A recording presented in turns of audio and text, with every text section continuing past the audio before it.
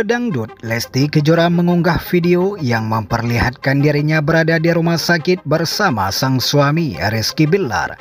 Terlihat Rizky Billar menyuapi Lesti makanan rumah sakit. Lesti menuliskan bahwa dia berada di rumah sakit Bunda Menteng, Jakarta.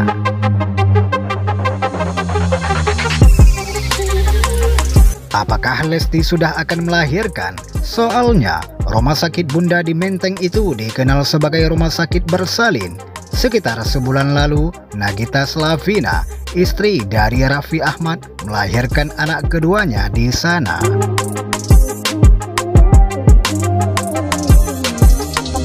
Saat ditanya tentang kondisi kesehatan Lesti Kejora, sang manajer Rifki Fitria memberikan informasi dirawat sejak kemarin di rumah sakit, ujar Rizky Fitria. Ternyata pelantun bawa aku ke penghulu ini bukan mau melahirkan, melainkan merasa kelelahan. Kondisinya lagi kelelahan, jadi masih proses observasi sambung Fitria. Dalam cerita Instagram Lesti terlihat sang suami terlihat masih setia menungguinya di rumah sakit dan ikut berbaring di ranjang bersama Lesti. Pasangan ini sempat membuat kontroversi lantaran Lesti Kejora dan Rizky Bilar kala itu mengungkapkan rahasia besar mereka dalam acara The Secret of Leslar.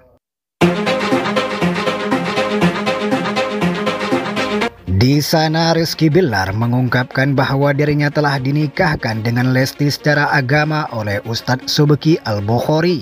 Pernikahan seri antara Billar dan Lesti digelar pada awal tahun 2021, jauh sebelum pernikahan. Secara negara digelar pada tanggal 19 Agustus 2021.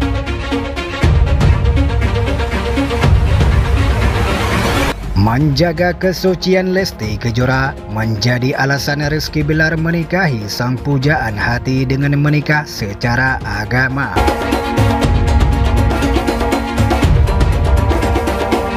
Begitulah informasinya, semoga Lesti Kejora cepat sembuh dan kandungan janin yang tengah dikandungnya saat ini sehat selalu sampai melahirkan nanti.